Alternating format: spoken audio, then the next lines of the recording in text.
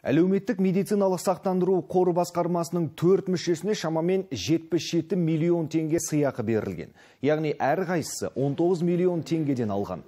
Бүгін мәжіліс депутаты Аманжан Жамалов қордың әкімшілік шығыстарына наразылық білдіріп, үкімет басшысына сауал жолдады.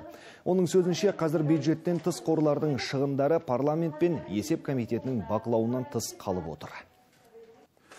Сейчас расходы бюджетных фондов Сондықтан болар әлеуметтік медициналық сақтандыру қорының басқарма төрағасы өз жалақысын жария түрде айтудан бас тартқаны. Ол азаматтардың жарналары мен аударымдары арқылы қамтылып отырған мемлекеттік қордағы айлықтарын коммерциялық құпия деді. Мәселен 2019 жылы әлеуметтік медициналық сақтандыру қорының әкімшілік шығыстары 5,8 миллиард теңгеден асқан. Жалақы төлеуге 4,4 миллиард теңге жұмсалған. Егер қордың барлық 850 қызметкеріне бөлсек, әрқайсысына айына 434 мың теңгеден келеді. Бұл елдегі орташа жалақыдан екі есе жоғары.